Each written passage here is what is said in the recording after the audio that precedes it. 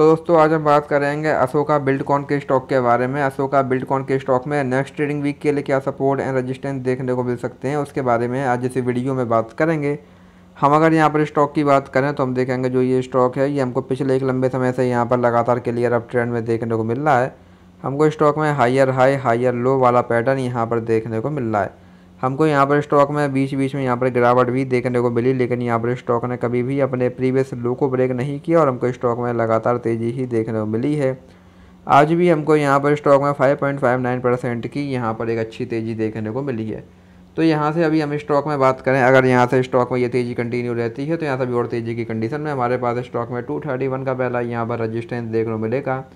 अगर स्टॉक इसको ब्रेक करता है देन यहाँ से हमको स्टॉक में टू फिफ्टी देन यहाँ से हमको स्टॉक में two seventy five and then से हमको स्टॉक में थ्री हंड्रेड और थ्री थर्टी थ्री फिफ्टी तक के लेवल्स भी यहाँ पर देखने को मिल सकते हैं।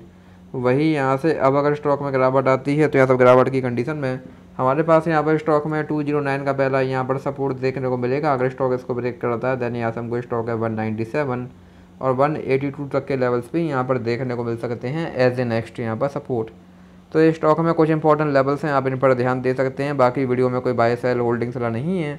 वीडियो केवल एजुकेशनल पर्पज़ के लिए धन्यवाद।